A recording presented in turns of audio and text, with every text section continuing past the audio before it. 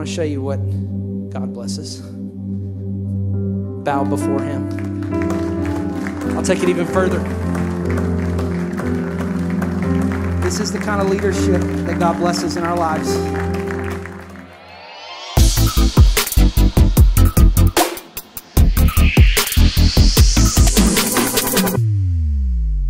If you have your Bible, turn with me to the book of Acts, chapter 6. The book of Acts, chapter 6. And uh, we're just walking through the book of Acts together as a church family. You can follow along with the digital message notes just by scanning the QR code today.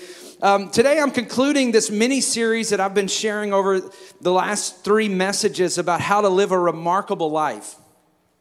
Remarkable just simply means exceptional, outstanding, uncommon, or worthy of attention. And I, and I made this statement the first week that these three characteristics that we're looking at really help deliver us from the three great traps of life. You know, there are some great traps that all of us can fall into along the way. And I didn't really describe what those things are. We see what those traps are. I just want to share these with you. These characteristics are so powerful. First John chapter 2 shares that there are three traps of life. The first trap is the lust of the eyes. In other words, wanting everything. And so we looked at the first week, the antidote, generosity, remarkable generosity. The second trap is the lust of the flesh. This is doing what feels good to you, that just whatever your flesh wants. And the antidote to that, we looked at it uh, two weeks ago, and that was integrity. Living a life of integrity. In other words, to please God, not to please ourselves. And so today we're going to talk about how to escape the last trap, and that's the pride of life, or just being focused on ourselves and our accomplishments and all the things we do and who we are, and look at me. And the antidote we're going to look at today is humility. That's what I want to talk about today. Remarkable humility. Can you say that with me? Remarkable humility. You guys sound great today. First Peter chapter 5 and verse 5 says this, "Clothe yourselves with humility." In other words, this is not a natural characteristic. We're going to have to make an intentional decision, just like you made an intentional decision to put on your clothes today. Thank the Lord. what I'm going to talk about today has to be an intentional decision to put on because it doesn't come natural. Why do we do that? Verse 5 says, Because God opposes the proud. So it's repellent. Pride is a repellent to God but he shows favor to the humble. So humble yourselves, therefore, under God's mighty hand. Watch this. Here's a great promise that he may lift you up. When? What does it say? We want him to lift us up immediately from time to time. But the promise is in due time, when it's when it's when, when the time is right. If we live a life of humility, God will bring so many good things if we will just trust in Him. This message is completely countercultural today. We live in a culture that's me focused, me centric. There's a, a new invention or a new phenomenon of the last, I don't know, 10 years, and that's the selfie. Around 92 million selfies are snapped every day. Now, if you live with teenagers, you may think, Brandon, that's a little low. It should be higher than that. I know. Google said last year, uh, last year alone, 24 billion selfies were uploaded to the internet. We are constantly taking pictures of ourselves. And, and hey, I, whenever I started putting this message together, I thought, you know what? I'm not the selfie guy. I mean, I don't take a lot of selfies. I thought, you know, I was really feeling good about myself. And then I looked on my phone, and there's actually a category on my phone that automatically says how many selfies I have. And according to my phone, I've taken 1,795 selfies. I busted myself.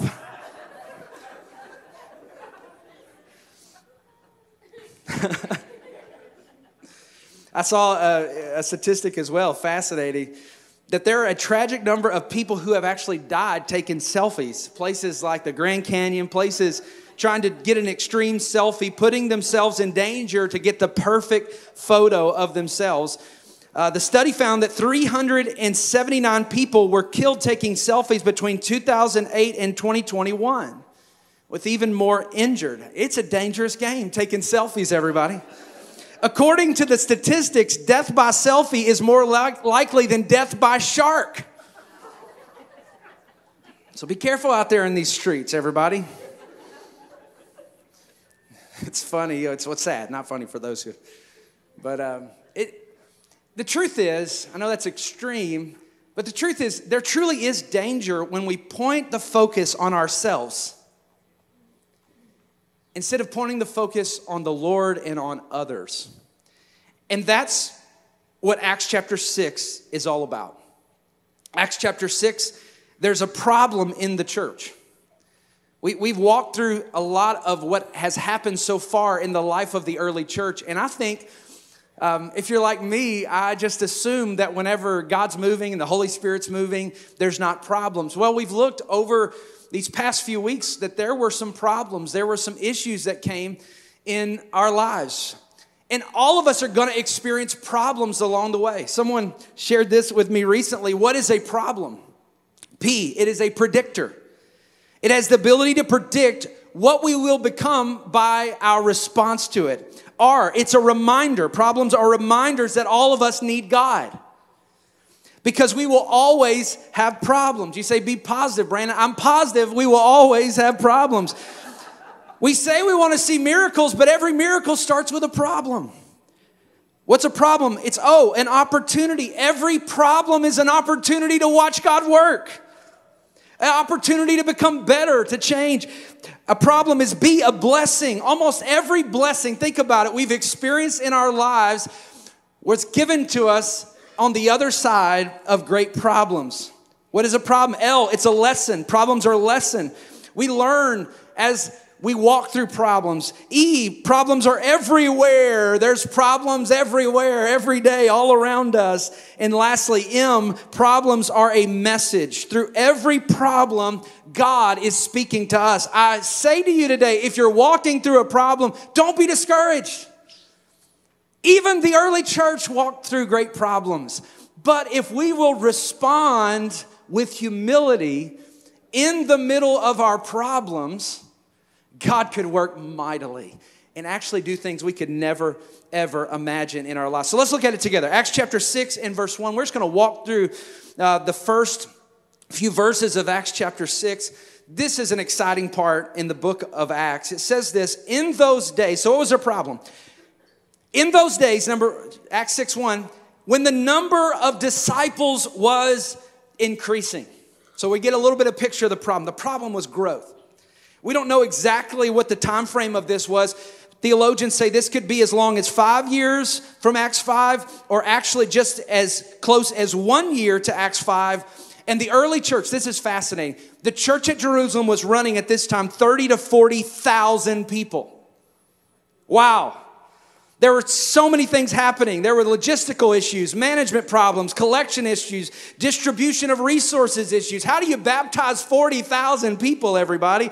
That's a good problem. I'd like to have that problem. Praise the Lord. You know, there's issues and problems, meetings, communication. How are they going to handle all this? And the disciples, the apostles, were at a pivotal moment because here's what they realized I can't do it all. I can't be the one that figures out every problem. I can't be the one that fixes everything, everything in my life. And up to this point, God was moving mightily in Jerusalem and in Judea but that wasn't what Jesus just called them to do. They were called to reach the world. And so this was so pivotal because they could have just said, We've arrived. Look at it, you know, 40,000 people, praise God. Like, look at what the Lord's done. You know what? We're just going to sit back and do nothing. But they chose to change because they had a mission to make a difference in the world. I can identify with this so much. I've been here at every stage of this church for the last nine years since our family of four moved here in 2015 and I've seen it go from the four of us, now we have a family of five, but at the time Baylor wasn't born, I've seen it go from four to over 5,000 this past Easter. It's been a difficult journey because each season has required something that's not fun at all, everybody. Change. Could you say that with me? Change. Oh my goodness, I get anxious just hearing the word. Change. I was with a group of pastors uh, at a, uh, a, retreat this past week, and they were talking, asked me a question about City Hills. What's been the hardest thing about you know, leading the church, I said, well, that's easy. Me changing, leading myself and changing and growing in every season because here's what I've learned about leadership. What makes you what made you effective in the last season will make you ineffective in this season if you don't change. You got to be willing to trust the Lord enough to say, God, what are you doing right now? What are you calling me to do? Or else you'll get this mentality of us four and no more, and you'll live your life circling the wagons and living in fear. And I want to say, just like this early church, City Hills, we've not arrived. We have not arrived. God still has great things in store. We've seen God do great things. People even say, well, City Hills is a large church. And and yeah, it's the largest church I've ever been a part of, but I always say large from whose perspective? Mine or God's? From my perspective, yeah, there's a lot of people here. But from God's perspective, there's over 800,000 people here in our region that need the hope and life of Jesus Christ. And I pray every church in our city and region grows and experiences miraculous revival that we see God move, not just in our church, but all around our city and move in God's presence and power. I want to tell you about something I'm excited about. Tomorrow, we're having a pastor's prayer lunch that's being hosted here at City Hills. Thank you for your generosity. We're joining pastors together because we're going to see a revival in our city because the best is yet to come. Come on, somebody. so, growth brings new challenges. The disciples were increasing. Some people are like, I don't want to change. And, but I, I got a question Do you want to experience all that God has for you? I know change is hard, but God is so good. If we'll just trust Him and allow Him to change our lives. So, what was the problem? So, the church was growing, and there was a specific problem. It goes on, Acts 6 1. The Hellenistic Jews, these are Greek Jews. So, you had the majority of Christians in the early church were part were from Jerusalem. They would be Hebraic Jews or people from Israel. And then you had outside people that were still Jewish people, but they just lived in the Greek world. They lived, they were not from Jerusalem. Undoubtedly, they came there, experienced the move of the Holy Spirit, and they're like, hey, we're staying here. We're gonna, we're gonna st- hang out here, and we're not gonna go home. So you have these two groups of people. The Hellenistic Jews, they were complaining against the Hebraic Jews because their widows were being overlooked in the daily distribution of food. So the issue was that the Greek Jews, those that weren't from Jerusalem and Judea, felt like their widows were not being cared for. I think in this passage we get to see differences in the church. God forbid if the church is just all the same people from the same place that think the same way. We get to see a picture in the early church. You had diversity, you had difference, you had difference of opinion, different um, linguistic differences. They would, the Greeks would have spoken different languages. There were cultural differences, definitely philosophical differences, and how problems could be solved. And in the middle of the differences, the enemy's working to try to cause discord. Mark, mark this down. This is the truth. Whenever the church is growing, you can be sure the enemy is in the middle of it doing, trying to do one thing and one thing only, trying to cause division, dissension, and disunity in the body of Christ because Satan knows that he has no match against a unified church. But if we'll divide over our differences, we'll actually destroy ourselves and he doesn't even have to mess with us. Satan is terrified of unity unity in a family, unity in your marriage, unity in a church family, unity in a friend group to make a difference for the kingdom of God. Anything unified will have to actively fight the devil to stay that way. If your marriage wants to be unified, just, just, just mark it down. You're going to have to fight the devil. If you're going to have, be unified as a church, we're going to have to fight the enemy. We have to focus on our priorities, not just our preferences. We all have preferences. Nothing wrong with our preferences. We have political preferences. Oh, it's an election year, everybody. Welcome to 2024. We had one of these four years ago. It was a wonderful, difficult year, was it not? What, what is highlighted? Our differences. But the church is a place where instead of the world dividing us by our differences, the church is a place where we come together even though we are different. And instead of lifting up the name of a candidate or a political party, amen, we lift up the name that's above every name, the name of Jesus. That name is going to be heralded for all eternity. And that's what we're doing we're putting our priority so that the world would know about who Jesus is. And there's all kinds of differences. There's political, there's theological differences around non essential issues. There's all kinds of differences that we as a church will have to make a decision. But I just say, let the church be different. In the church, we are one. We come from a variety of different backgrounds. The color of our skin may be different. We may all not all see things exactly the same, but we love one another and we care for one another. We are brothers and sisters in Jesus Christ. And I pray the church looks like heaven on earth. A divided world needs a united church, everybody. So, so the issue was the widows were not being cared for. I, I, love this because we're supposed to be a church just like this church that cares for people outside of our wall. Cares, cares for people outside of our walls, but cares for people in need inside of our walls. These widows. The Hebraic widows were being cared for, the Greek widows were not. Complaining was happening and it was affecting the church. I just want to stop right here and to say if you are a widow or a widower, part of our church family. We love you. We care for you. We support you. We are here for you.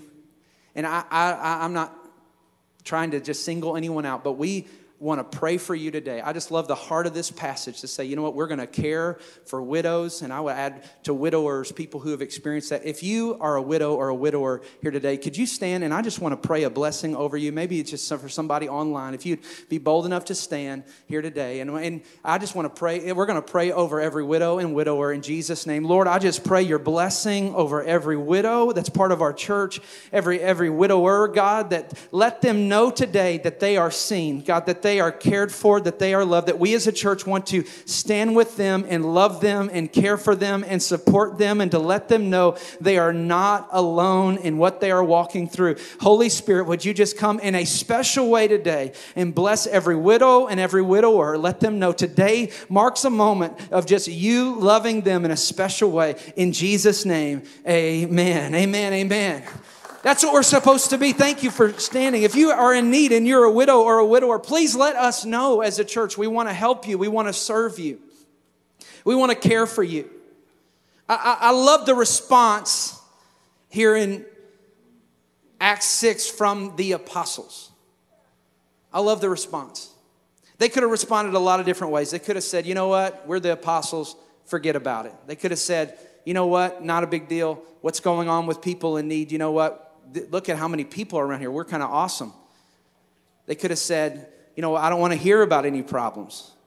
They could have said a lot of things, but watch what they said. Verse 2 So the 12 gathered all the disciples together and said, It would not be right for us to neglect the ministry of the word of God in order to wait on tables. Brothers and sisters, choose seven men from among you who are known to be full of the spirit of wisdom, and we will turn this responsibility over to them and will give our attention to prayer and to the ministry of the word. This was such a powerful moment of humility in the church that I think is reverberating today.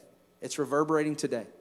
And it really makes what the local church is called to be, it really sets us apart as, a, as the way that we are called to lead in such an awesome way and follows the example of Jesus Christ. This was a pivotal moment. And I want to show you through this three habits of humble people, three habits of humble leaders. I don't know where the sphere of influence that God's called you to lead, but here's just a challenge three things of how to have incredible, remarkable humility in our lives that I see here through this response through the response of the apostles. Here's the first one. Number 1, the humble get over themselves. I didn't say this is going to be an easy message, everybody. we can all be struck on ourselves a little bit, you know? Whenever I first started dating Kara, her grandmother was in the hospital and she was on some medicine that I, it was like some truth serum, I guess, and she was had no filter. I mean, we've been dating like a couple weeks, and she said we went. I went to the hospital to visit her and to pray for her, and she said, "So good to see you. When I first met you, Brandon, I thought you were so struck on yourself." That's what she said. So I've I've laughed about that with her every time. You know, the truth is, all of us can have moments where we get struck on ourselves. And here's what I love. They didn't say, we're a big deal. We're the apostles. Leave us alone. They didn't put on, and they didn't also do the other thing. They didn't put on a cape and say, we will serve everything. We can do everything. We will solve every problem. See, sometimes we can get in that mentality with people where we think, you know what, I have to be the super person that, that always rescues everybody from every problem and situation. They didn't do that. They got over themselves. They understood that God opposes the proud, the proud but gives, gives grace to the humble.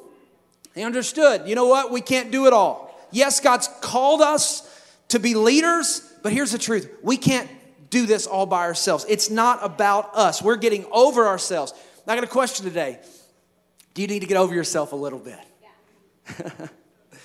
so, so here's, here's some questions. These are introspective questions. You don't have to answer them out loud, but you can answer them in your notes or in your mind. Here's a question to know if you need to, how much you need to get over yourself. Do you take everything personally and get defensive? Like whenever there's an issue, do you always bow up and say, you know, or, or maybe you're feeling defensive right now. You're like, who is he to ask me? you always have to put up a case for yourself. You're easily offended. You wear your feelings on your sleeve, and once you're offended, it's just it just continues to go and go and go and go, and you never own your part of the problem. You just are always defensive, and you always take it personal. Just a question. Number two, do you think your feelings are the most reasonable? Are you okay with other people feeling different than you? Are you always telling them how they should feel and how you're always right? Your feelings are real, but they're not always true. Three, are you the one always trying to fix everybody? Are you the person always has to save the day? I'll take it a step further. Are you the one that allows you, you allow things to not be fixed, or you purposely break things so that people will need you? So you try to swoop in and fix the problem every single time. You're finding your identity through what you do, not who you are in Christ. You got to get over yourself. Number four, you tend to be negative and critical instead of positive and grateful? Negativity in criticalness, that's the language of pride. Gratefulness and positivity and joy, that is the language of humility. Number five, last question. Do you keep thinking of other people that need to hear this message? gotcha.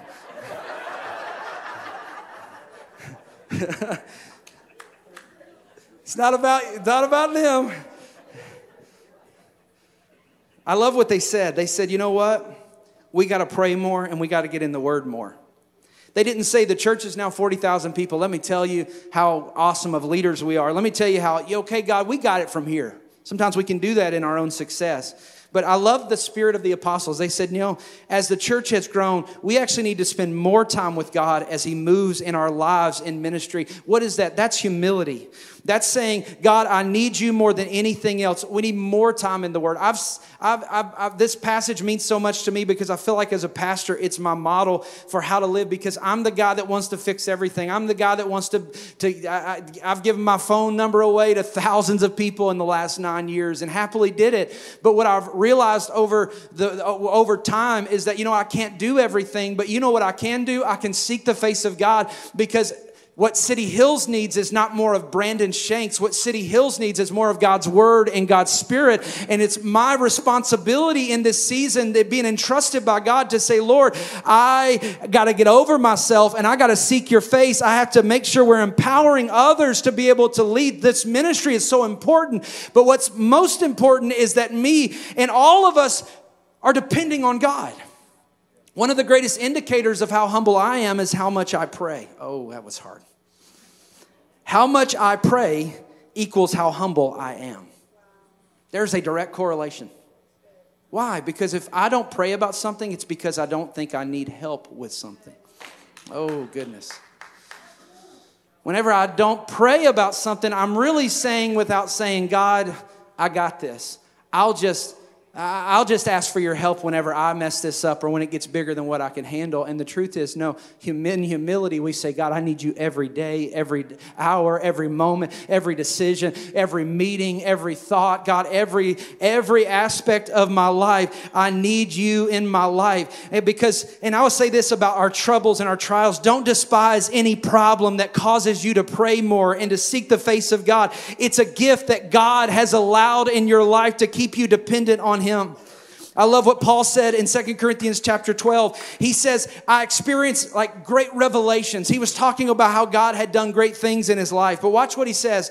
In order to keep me from being conceited or prideful, I was given a thorn in my flesh, a messenger of Satan to torment me.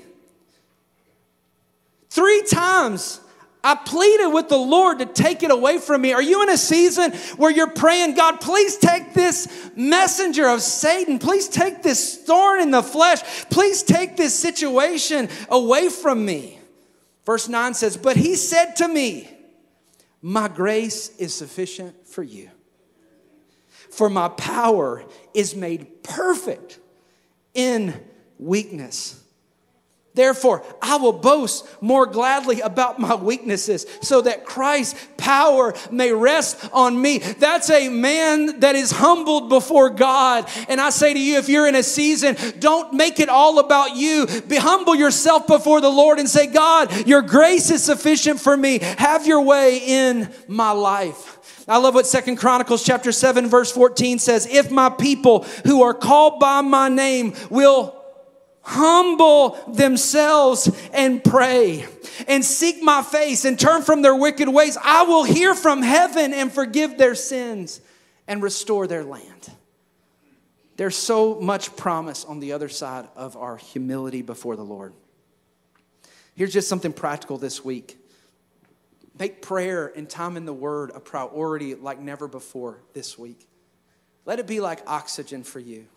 Maybe turn off distractions when you're driving down the road and say, Lord, speak to me. I humble myself. Ask God to help you with things maybe you feel like you can do in your own strength. That's pride, because the truth is, unless God gives us another breath, we can't breathe one more moment today. And why don't we say, God, let it start today. Before you go to bed tonight, take some intentional time to pray and to seek the Lord and say, I've got to get over myself. Maybe for you, that means to forgive or to let something go or to, don't just remain offended. Don't make it about yourself. Don't try to pray, God, change somebody else. God, change my life. Here's the second truth I see in this passage about the humble. Number two, the humble recognize their limits. They recognize they had limits. This is so powerful. Do you know you have limits? Do you know you're not God? Do you know you don't have to have every answer? You don't have to fix every problem. Serving the widows was such a good thing. But they realized they had limits and they knew that they would not have time and energy to teach the word if they were the ones distributing the food. So, for the calling God had on their life for this season, they recognized what only they could do. Serving the widows was important, but teaching the word was important as well. And teaching the word was their unique responsibility in this season. And so they leaned into empowering others that could serve the widows. I know this is just simple walking through this passage, and this would be one of those passages it would be easy to go over because it doesn't seem as inspiring in the scripture, but every, one, every word of God is inspired and is helpful for us in our lives. And here's the question for all of us What are the things that only you can do? In this season, what are the things that only you can do? This is my example as a pastor. As our church grows, as I shared earlier, I have to say, God, what are the things that only I can do? I was thinking about the church. Only I can pray to receive vision from the Lord. It's the role God's entrusted to me in this season. Only I can protect, create the culture of our church family, make sure that we're on God's word and being focused. But it's, it's so much more than that. I love this church, but my first priority is to my family and to God. Only I can take care of my family. Only I can be a loving husband to my wife, Kara. Only I can be a father and example to my sons. Only I can take care of my health, my spiritual health, my emotional health, my physical health. So, what does this look like for you? For me, it's learning to say no to good things so that I can say yes to great things. It's a hard word to learn how to say. It's actually one of the first words we learn, but as we get older, it's harder to say it. Can we say it together? No. Here we go. No. Oh, you sound great. One more time. No. Oh, that's that's a good word to say. So I, I shared a few weeks ago that Friday is, a, is our sabbatical. It's a City Hills free zone as much as possible in our home so that we can rest and spend time together as a family. And on Fridays, I, um, Kara and I will try to go to breakfast together, spend some unique time together um, on that day. That's just our, our Sabbath day. And what started happening, I guess, about six months ago, maybe a little bit longer ago, but six months ago, I had some things that um, you know, some meetings that I wasn't able to take care of throughout the week. So I said yes on some Fridays.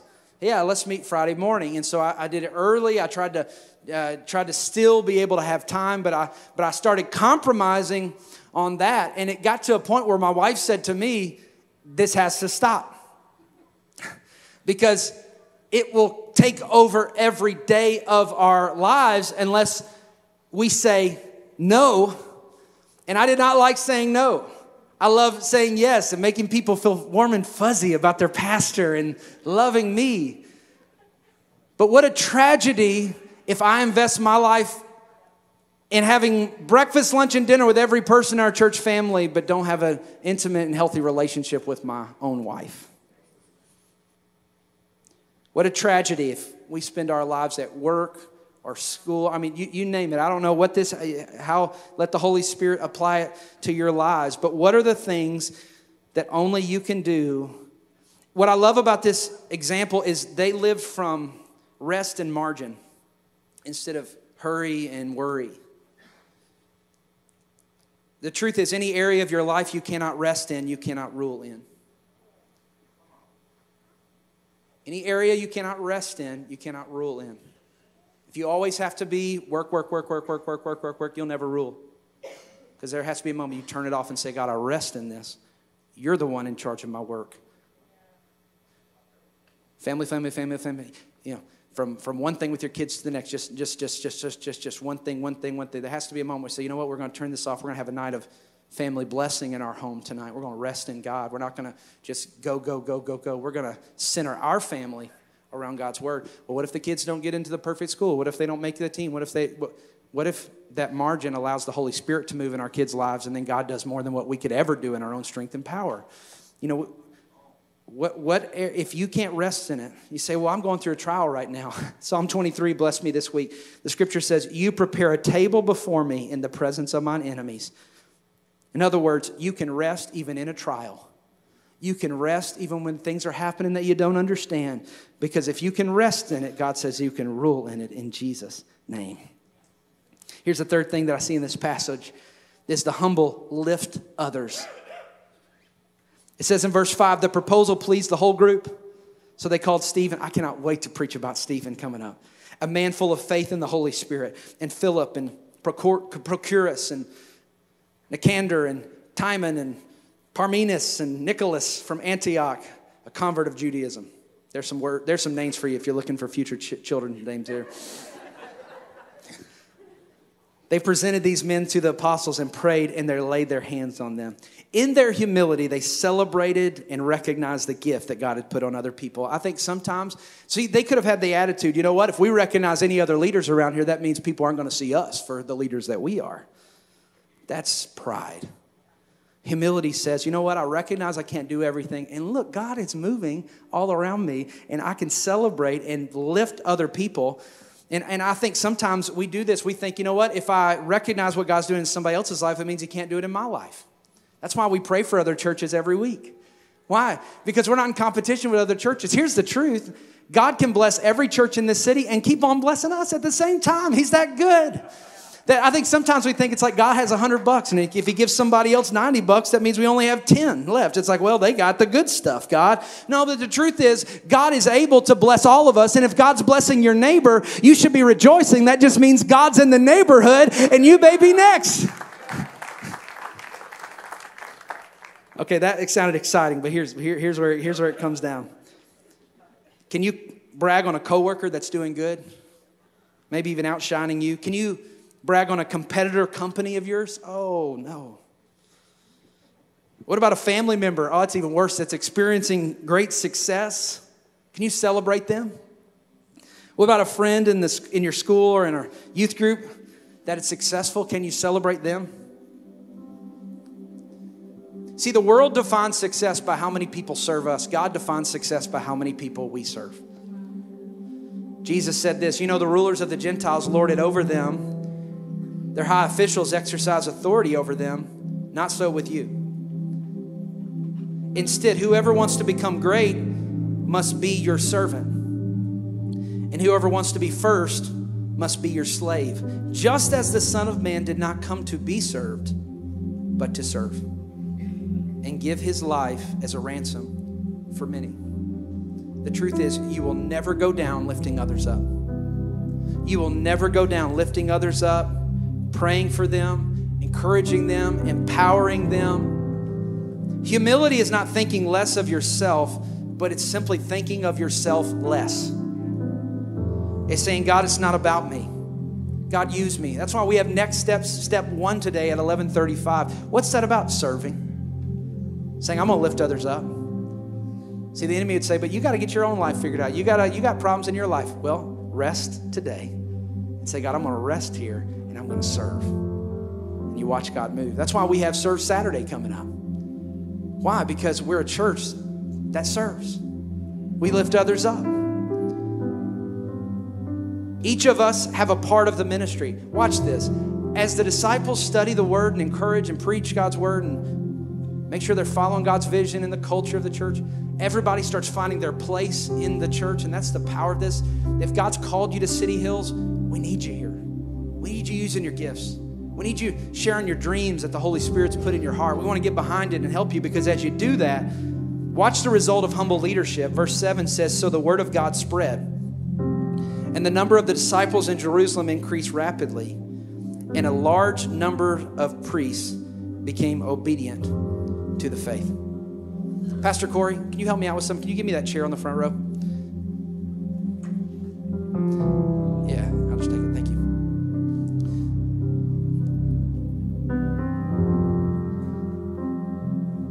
We can easily be people and leaders that want to lift ourselves up above others. This is kind of mentality we can have. Better than others.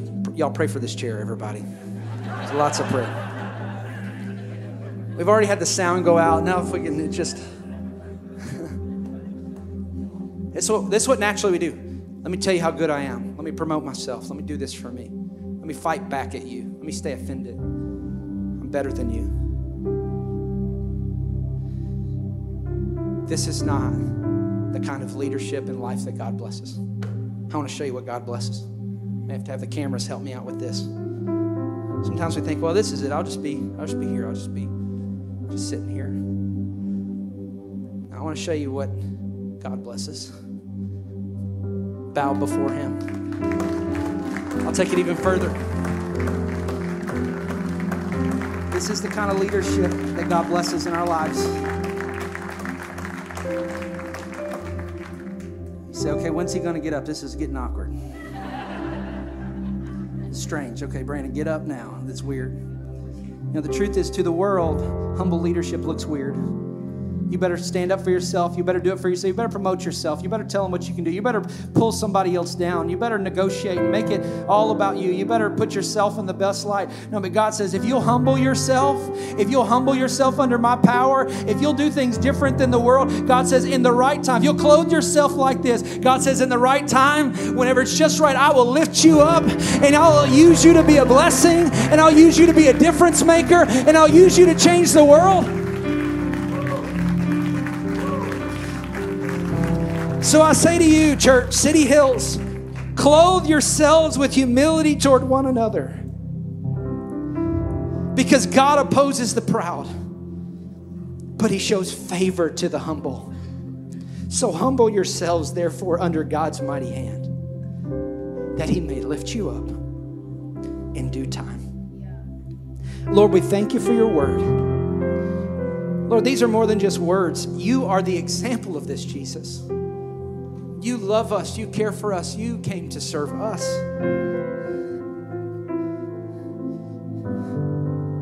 Let us be remarkably humble people, God. Let us be so countercultural. Let's get over ourselves. Let's recognize we have some limits. Let us lift other people up, God. like you lift us up. Nobody looking around. If you're here today and you would say, Brandon, I'm far from God, I would love to pray for you to hear today. Maybe this message is for you. Let today mark a fresh start for you. Join me in this prayer today. Say, Jesus, I surrender my life to you. Change me, save me, forgive me of my sin and the way I've been living. Today I choose to turn around. Today I choose to trust in you. Fill me with your Holy Spirit. Be the Lord of my life from this moment forward. In Jesus' name. Amen and amen. Thank you, Lord, for what you're doing in this place. Can we give a, God a hand clap of praise and just appreciation and thanks today? Thanks so much for watching this message uh, today online. Just know we're praying for you. We would love to serve you, help you however we can. If you just prayed that fresh start prayer with us today, text the word CH Hope to the number 97,000. We would love to help you on your journey. Please let us know. Go to cityhills.com for more information about City Hills Church here in Knoxville, Tennessee. God bless you. Let's go love God, love people, and change our world. Have a great day.